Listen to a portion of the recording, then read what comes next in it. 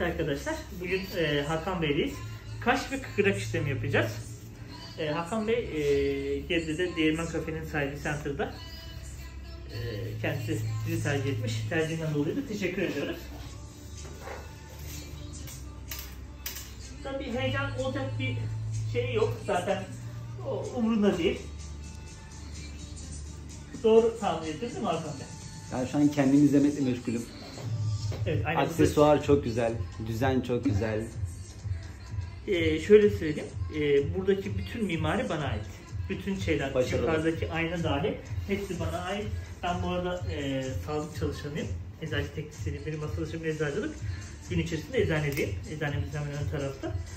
Beni ee, eczacı falan gördü burayı yaptığımı. Biz dedi seni yanlış kullanmış. Seni mimar yapacak değil mi? Çok yanlış olmuş bu dedi. Biz de bir dekor değiştirmeyi düşünüyorduk dükkanda aslında. Olabilir. Konuşabiliriz. bunları. Çalışabiliriz. Aynen öyle.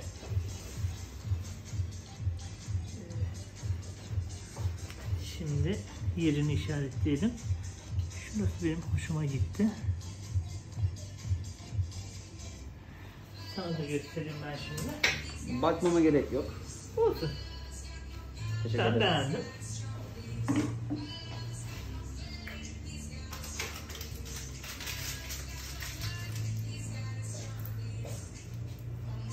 Şimdi başlıyorum yavaştan.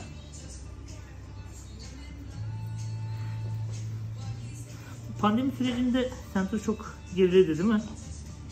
Gerideydi dediğimiz kısım hani bizim Yani müşteri kaybı. AVM zaten genel olsa da olmasa da AVM.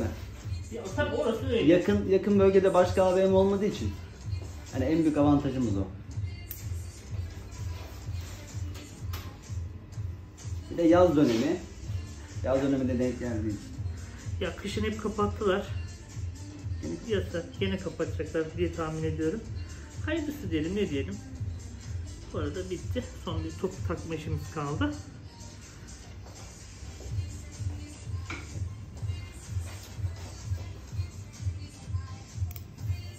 Bence çok güzel yakıştı.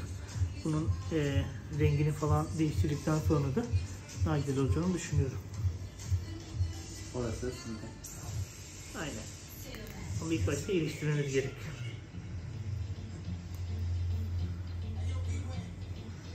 Çok güzel oldu. Diplerini temizledik.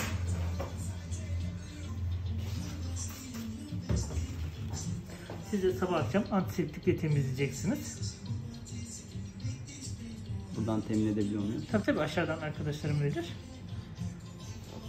Evet.